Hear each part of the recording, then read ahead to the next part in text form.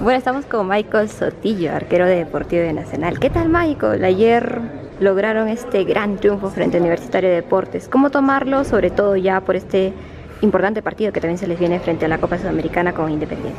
Sí, la verdad que fue un triunfo muy, muy, muy, luchado. Yo creo que fue un justo, un justo triunfo, ¿no? Eh, por ahí la idea era quedar 4-0, que no nos hagan gol, pero bueno, lamentablemente me parece que por errores arbitrales inclinó un poquito la cancha a favor del universitario, pero sabíamos que eso iba a pasar así porque, porque los hábitos por ahí se dejan influenciar un poquito por los equipos grandes. Pero ahora vamos con la moral al tope, eh, amanecimos punteros, esperemos que Cristal nos sume de tres para seguir para seguir peleando el título y bueno, esperemos que nos vaya bien en Argentina. Bueno. Hay algo que sorprende mucho de Binacional, lo fuerte que se ha hecho de local, que ha, sabido eh, aprovechar lo que es esto de la altura, han sabido también recuperar algunos puntos en condición de visitantes.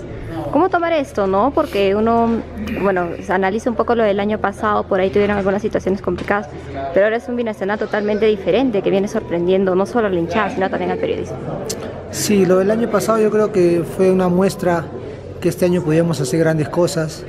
El año pasado tuvimos un torneo regular, de regular para bien. Ahorita estamos teniendo un, torneo de bien para, para mucho mejor, así que esperemos seguir por esa consigna de hacernos fuerte local. Estamos aprovechando la condición de local. A nosotros también nos afecta la altura, no es que nosotros no nos cansamos, solo que la diferencia es que nos recuperamos un poquito más que el rival, nada más es la única diferencia, porque, porque todos somos de, yo soy de Tacna y jugadores de, Lima, entonces hay una mistura muy buena y los jugadores que se han ido el año pasado yo creo que han escogido las posiciones similares. Está Cambú con, con Córdoba, que son casi parecidos a los Cuchillo Balta, con, con Fajardo, ahora está jugando Fernández. Yo creo que estamos haciendo un buen grupo y sobre todo somos buenas personas y yo creo que eso es, importante para, para, para lograr grandes cosas. Pese a eso, la adaptación de ustedes ha sido rápida, ha sido rápida porque han tenido bueno, una pretemporada en Arequipa y aquí bueno, parece que no les ha afectado mucho también porque la fuerza de, la que muestran en la, en la cancha es totalmente diferente. No, lo bueno que, lo bueno que hemos hecho la pretemporada, pues hemos estado dos semanas en Arequipa y eso nos ha ayudado para más o menos llegar aquí y que no nos choque tanto. Eh, estamos acá febrero, marzo y lo que, lo que va de abril y yo creo que estamos, este, estamos haciendo nos estamos adaptando rápido a la idea que quiere el profe. Es una idea muy sencilla, muy simple. ¿no? Yo he tenido técnicos que eh, extranjeros que te llenan que la presión, que esto, que el otro, y la verdad que termina de marear. Pero lo que el profe es algo muy sencillo, muy simple, y la verdad que eso, eso es muy, muy muy alabable de lo que es los técnicos peruanos, los técnicos del profe, así que yo creo que su mano se está, se está viendo reflejado partido a partido, no solamente de local, sino de visita. Pero ahora vamos a pensar en Independiente, ya tenemos los ojos puestos en el Rey de Copas esperemos que nos vaya bien y representar bien al país. El año pasado pues tuviste una mm, lucha directa ahí en el arco con Farro. Hoy por hoy eres tal vez uno de los jugadores que va a estar siempre en la cancha y sobre todo siendo capitán. ¿Qué tanta responsabilidad, bueno, asumes tú, no?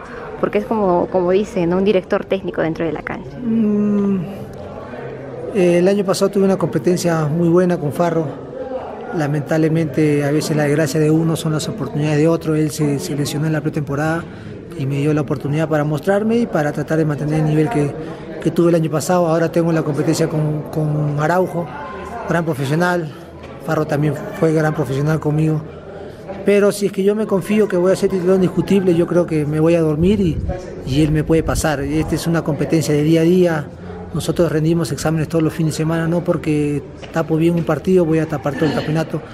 Ese es el semana a semana, así que eso me ayuda y me permite estar atento, estar alerta, a dar los entrenamientos al máximo, a no perderme ningún entrenamiento y también a, atarme al profesor Jorge Galvez, que es uno de los, veo, yo lo sigo que hace más de 20 años y está trabajando en el fútbol peruano. Y yo creo que eso es las, las pautas que él me puede dar dentro de la cancha, es muy bueno para que, que siga creciendo en el aspecto futbolístico. Pero el hecho de ser capitán, ¿cómo hace que tú apoyes al, equipo para que tenga esa seguridad, también esa confianza? Bueno, la verdad que somos capitanes en el Camerín, está Millán, Chueco Tello, habla bastante en el Camerín. Somos varios, todos, casi todos, todos hablamos en Camerín, todos somos capitanes. Yo creo que la cinta es algo, algo que algo reglamentario, algo reglamentario que tiene que salir porque los capitanes somos 11. Hasta Andy Polar ya está empezando a hablar y eso es muy bueno que está creciendo y la verdad que eso es lo bueno que, que este grupo, todos hablan, todos aportan su granito de arena y todos empujamos el carro por el mismo lado. Ahora, bueno, ya queda pocos días para enfrentar lo que es este partido frente Independiente. Van a ser historia sea para bien, sea para mal, van a ser historias porque es la primera participación de Binacional en un torneo internacional. ¿Cómo toman esto? ¿Cómo vienen analizando, sobre todo Independiente, que ganó el día de ayer también? Sí, ellos también vienen de menos a más en, su torneo local. Nosotros también venimos, con, como te repito, con la moral al tope. Cualquier cosa puede pasar.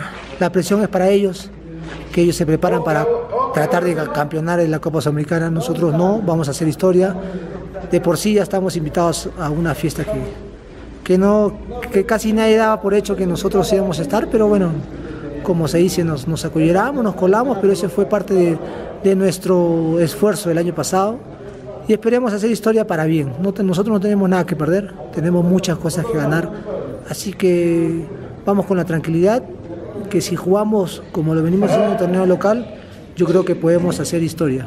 Y si, nos toca perder, seguramente nos va a tocar perder, pero que no sea por una diferencia tan amplia, que sea una diferencia remontable, porque sabemos que lo vamos a cerrar en, Cusco o en Huancayo. ¿Para equipo no hay opción para que vayan a jugar? Mm, escuché que están dentro de esas tres opciones. ¿Cuál te gustaría más? Yo en lo personal Huancayo, porque yo he estado tres años en Huancayo y conozco la cancha. Eh, sé que la altura es casi similar a la a la de la de Cusco, pero si nos toca Arequipa también tratar de demostrar que, que no solamente por la altura podemos hacer un gran partido, sino que donde sea, donde nos toque jugar, tratar de hacer un, buen encuentro. Bueno, felicitaciones por lo que vienen haciendo combinacional, por estas sorpresas que vienen dando en la Liga 1 y esperemos que tengan un buen viaje y un buen partido frente a Independiente. Gracias, gracias por eso. Sí, estamos haciendo sorpresas, así que eh, poco a poco se va achicando los, los partidos que quedan. Esperamos seguir por esta senda y conseguir algo importante. ¿no? Sería algo histórico también para, para el equipo que no es, es, novato en, el profesional, así que gracias por los buenos deseos y esperamos hacer una buena participación.